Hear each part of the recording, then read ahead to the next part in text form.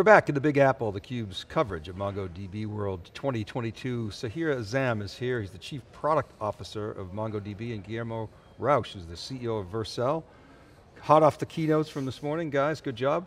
Thank you. Thank you. Thank you for joining us here. Guillermo, thanks for having us. Guillermo, when it comes to, to modern web development, you know, the back end, the cloud guys got it kind of sewn up, you know? Forget about it. But you know, all the action's in the front end, and that's where you are. Explain Vercel.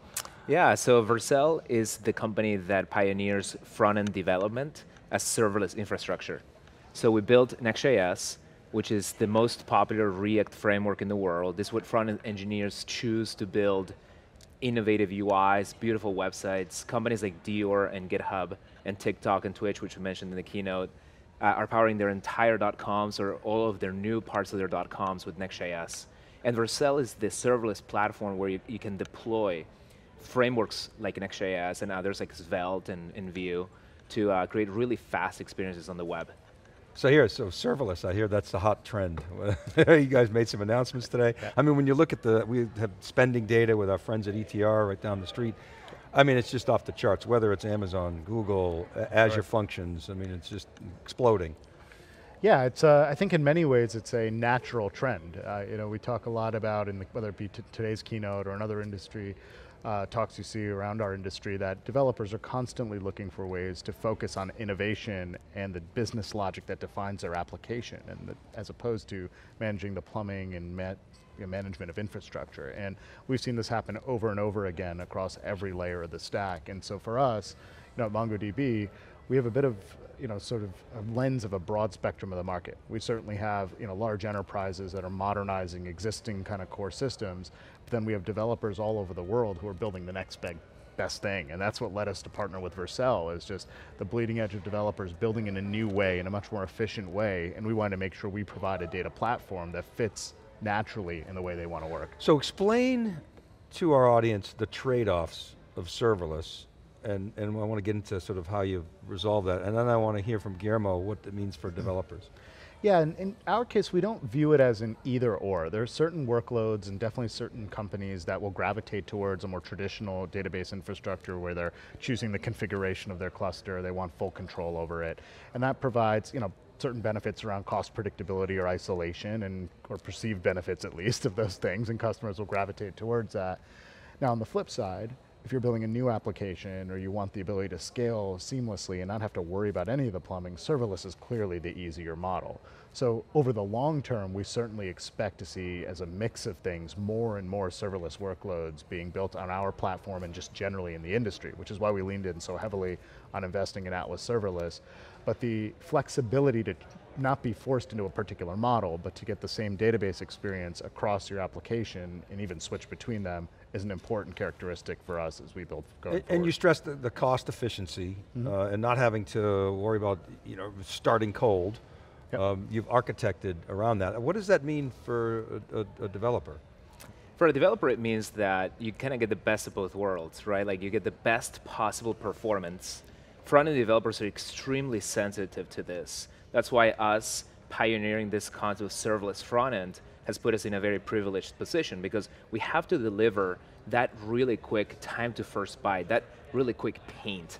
So any of the old trade-offs of serverless are not accepted by the market. You have to be extremely fast, you have to be instant to deliver that front-end content.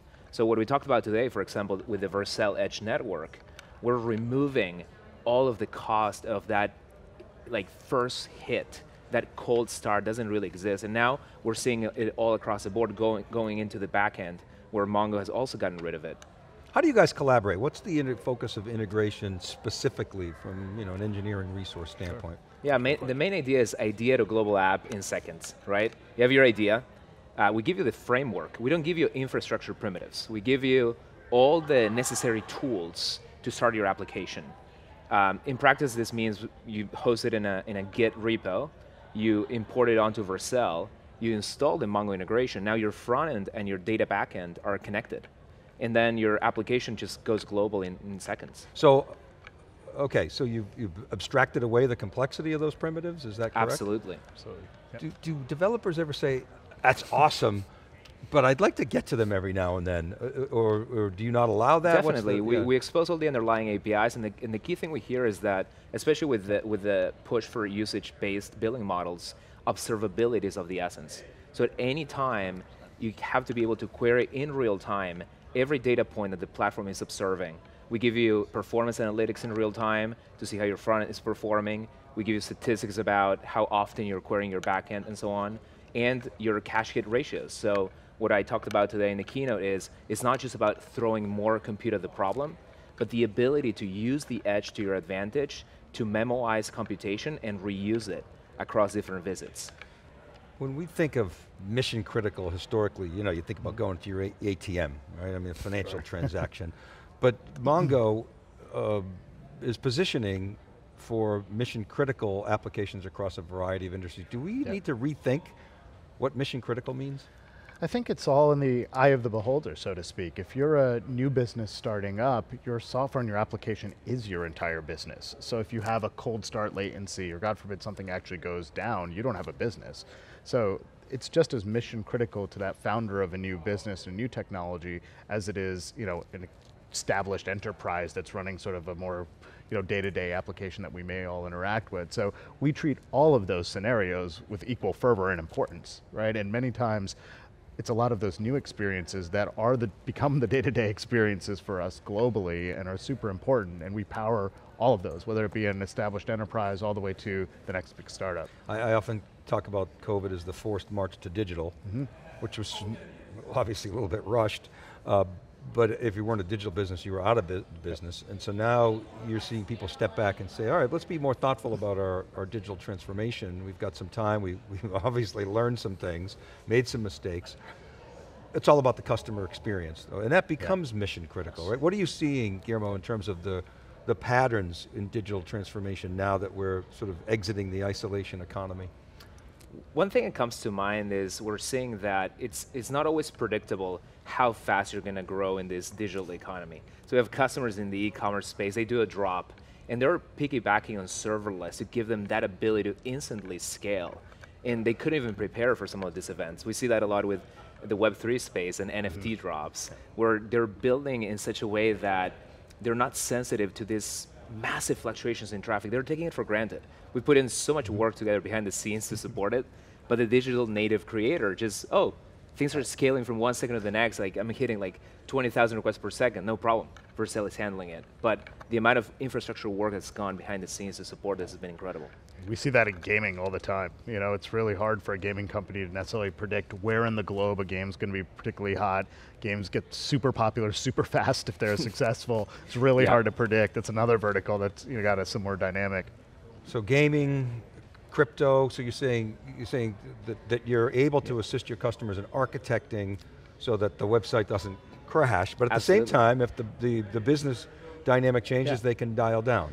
Yeah. Right, and in many ways, slow is the new down, right? And, and if somebody has a slow experience, they're going to leave your site just as much as if it's I'm out of here. Down. So Right. you know, it's really maintaining that that really fast performance, that amazing customer experience, because this is all measured. It's scientific. Like anytime there's friction in the process, you're going to lose customers. So obviously people are excited about your, your keynote, but what have they been saying? Any specific comments you can, you can share, or questions that you got that were really interesting? Or? I'm already getting links to the apps that people are deploying. So the whole idea of idea to go all over the world. Yeah, so it's already working. I'm They were, show, they were showing off, look what Yeah, I did, on really. Twitter, yeah. That's amazing. I think from my standpoint, um, I, I got a question earlier. With the, we were uh, with a bunch of financial analysts and investors, and they said they've been talking to a lot of the customers in the halls, and just to see, you know, from the last time we were all in person, the number of our customers that are using multiple capabilities across this idea of a developer data platform. You know, certainly MongoDB has been a popular core database, open source for a long time, but the new capabilities around search, analytics, mobile being adopted much more broadly to power these experiences is the most exciting thing from our side. Uh, So, okay, so from 2019 to now, you're talking, you're saying substantial uptick in, in ad adoption for these features? Yeah, um, and many of them are new. So Time series as well, that's absolutely. pretty new, so yeah. Yeah, and you know our philosophy of development at MongoDB is to get capabilities in the hands of customers early, get that feedback to enrich and drive that product market fit. And over the last three years, especially, we've been transitioning from a single product, kind of core, you know, non-relational modern database to a data platform, a developer data platform that adds more and more capabilities to power these modern applications.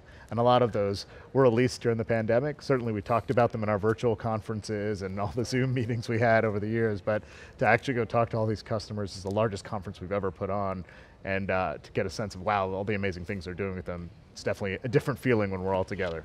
So that's interesting. When you have such a, a, a hot product, product-led growth, which is mm what Mongo has been, and you add these new new features, they're uh, they're coming from the developers right, who are saying, "Hey, we need this." Okay, yep. so you have a pretty high degree of confidence, but how do you know when you have product market fit? I mean, is it adoption, usage, renewals? What's your metric? Yeah, I think it's a mix of quantitative measures that mm -hmm. you know around conversion rates, the size of your funnel, the retention rate. Uh, NPS, which obviously can be mm-hmm. measured, but also just qualitative. You know, when you're talking to a developer or a technology executive around what their needs are, and then you see how they actually apply it to solve a problem, it's that balance between the qualitative and the quantitative measurement of things. And you can just sort of, frankly, you can feel it.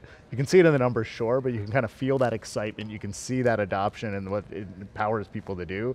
And so to me as a product leader, it's always a blend of those things. If you get too obsessed with pure, purely the metrics, you can always over optimize something for the wrong reason. Mm -hmm. So you have to bring in that qualitative feedback to balance yourself out. Right. What, what Guillermo, what do you, what's next? What do you not have that you want from, from, so, from Sahir and Mongo? So the, the natural next step for serverless computing is, is the edge. Mm -hmm. So we have to be uh, auto, we have to auto scale, we have to tolerate failures, we have to be available, we have to be easy, but we have to be global. And right now, we've been doing this by using a lot of techniques like caching and, and replication and things like this, but the future is about personalizing even more to each visitor depending on where they are. So if I'm in New York, I want to get the latest offers for New York on demand, just for me and using AI to continue to personalize that experience. So giving the developer these tools in a way where it feels natural to build an application like this. It doesn't feel like, oh, I'm going to do this year 10 if I make it. I'm going to do it since the very beginning. Okay, interesting. So that says to me that I'm not going to make a round trip to the cloud necessarily for that experience. Right. I'm going to have some kind of Apple today at the developer Worldwide Developer Conference announced yep. the M2. Mm -hmm. Right, yes, I'm looking at yes. the M1 Ultra and I'm going, wow, look at that. And so you were talking about that new one backstage. Right, I mean, it's an amazing pace of, yes. of silicon development and they're focusing on the NPU, and you look at what Tesla's doing, I mean, it's just incredible. So you're going to have some new hardware architecture that emerges. Most of the AI that's done today is, is modeling in the cloud. Mm -hmm. You're going to have a in, real-time inferencing at the edge, yep. so that's not going to do the round trip. There's going to be a data store there. I think it has to be. You're going to persist some of the data, maybe not mm -hmm. all of it. So it's a whole new architecture that's, that's, developing. That's, that's, exactly right. That sounds very disruptive. Yeah. Um, how do you think about that and how does Mongo yeah. play there? Uh, Guillermo first. What I spend a lot of time thinking about is obviously the developer experience, giving the programmer a programming model that is natural, intuitive, and produces these great results. So if they have to think about data that's local, because of regulatory reasons, for example, how can we let the framework guide them to success? I'm just writing an application, I deploy to the cloud, and then everything else is figured out. Yeah, or or or speed of light is another challenge. Right? how can, how can yeah. we overcome the speed right. of light so, is our so next Yeah, yeah, yeah. Well, you're sure. working on that, aren't you? You got the best engineers on that front. we can solve a lot of problems, so, I'm not sure that. So Mongo yeah. plays in that scenario? or? Yeah, so I think absolutely, you know, we've been focused heavily on becoming the globally distributed cloud data layer, the back-end data layer that allows you to persist data to align with performance and move data where it needs to be globally, or deal with data sovereignty, data nationalism that's starting to rise. But absolutely, there is more data being pushed out to the edge, to your point around processing or inference happening at the edge, and there's going to be a globally distributed front-end layer as well, where the data and processing takes apart. And so we're focused on one, making sure the data connectivity in the layer is all connected into one unified architecture. We do that in combination with technologies that we have that do with mobility or edge distribution and synchronization of data with Realm, and we do it with partnerships. Mm -hmm. We have edge partnerships with AWS and Verizon, we have partnerships with a lot of CDN players who are building out that edge platform and making sure that MongoDB is either connected to it or just driving that synchronization back and forth. I, I call that unified experience super cloud. Uh, Robbie Belson from Verizon calls it the cloud continuum, yeah, but that consistent continuum. experience yep. for developers, whether you're on-prem, whether you're in you know, Azure, Google, AWS, and, and ultimately the edge. That's the big That's where it's going. white space Yeah. right now where I'm hearing. Guillermo, right? It, I think it'll define the next generation of how software is built. Mm-hmm. And, and we're seeing this some, almost like a collision course between some of the ideas that the Web3 developers are excited about, which is like decentralization almost to the extreme. But the Web2 also needs more decentralization because we're seeing it with like, the data needs to be local to, to me, I need more privacy. I was Yep. looking at the latest encryption features in Mongo. Like, I think both Web2 need to incorporate more of the ideas of Web3 and vice versa mm. to create the best possible consumer experience. Privacy matters more than ever before, latency for conversion matters more than ever before, and regulations are changing. And, and you talked about Web3 earlier, talking about new protocols, a, a new distributed you know, system, decentralized system emerging, new hardware architectures. I, I really believe, we really think that that new economics are going to bleed back into the data center. And, and you know, every 15 years or so, this industry gets disrupted. So Absolutely. You know, you ain't seen nothing yet, guys. we all talked about commoditized, hardware becoming commoditized 10, 15 years Yeah, ago of course. because of virtualization. It's like, nope, not at all. it's actually right, a lot of innovation and happening. The lower the price, the, the, the more the, Yeah. the consumption. So guys, thanks so much. Great conversation. Thank you. conversation. Really Thank you. appreciate your time. Really appreciate it, enjoyed the conversation. All right, and thanks for watching. Keep it right there. We'll be back with our next segment right after this short break. Dave Vellante for theCUBE's coverage of MongoDB World 2022.